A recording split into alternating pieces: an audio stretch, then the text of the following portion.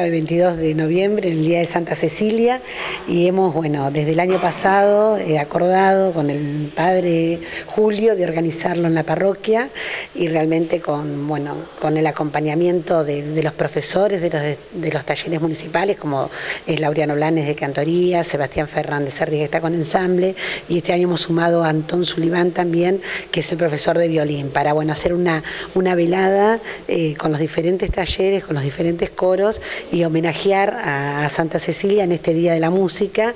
Esto va a ser el día domingo, el domingo 25 a las 20-30 horas en, la parroquia Nuestra Señora del Rosario. Así que contentos, contentos de poder celebrar la música, este lenguaje universal que a todos de una manera u otra, con un gusto u otro, eh, nos atraviesa y, nos llega y creo que, que bueno,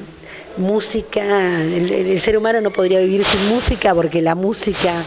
eh, hasta la produce la misma naturaleza, así que, creo que, bueno, esto es lindo celebrar y, darnos cuenta y compartir con la música. Bueno, la idea es como tomarlo también como parte del cierre de las actividades del año, aparte de, estar festejando el Día de la Música, pero bueno, con la cantoría es más que nada también eh, una despedida a todos los chicos que egresan, que, bueno, que dejan el, coro por, irse a, hacer sus diferentes estudios a diferentes ciudades, así que también es, como un cierre en ese sentido y tratar de hacer todo el repertorio que hemos trabajado este año. Y lo mismo con, las nenas del corito y algunas que ya a partir del año que viene están en condiciones de empezar la cantoría juvenil porque ya egresan del, primario, eh, pero también la idea es, este, mostrar un poco todo el, el repertorio que estuvimos trabajando en el año. Yo creo que sí, una propuesta linda para el domingo a la tarde, así en la nochecita, así que esperamos a todos a venir a celebrar, a compartir en, el templo, en las instalaciones del templo de la parroquia Nuestra Señora del Rosario. Y bueno,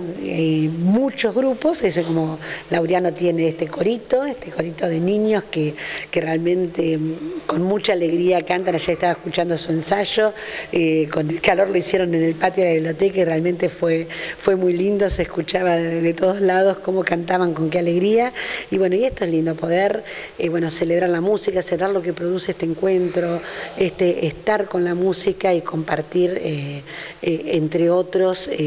estas instancias y lo que enriquece a cada uno, ¿no? más, que va más allá de un taller, va más allá de, enseñarle, sino también el estar con el otro, todos los procesos que también cumple una cantoría o un coro en lo que hace con el individuo, con el ser humano y también, bueno, lo que hace la música ¿no? con, con la persona. Así que bueno, los esperamos a todos.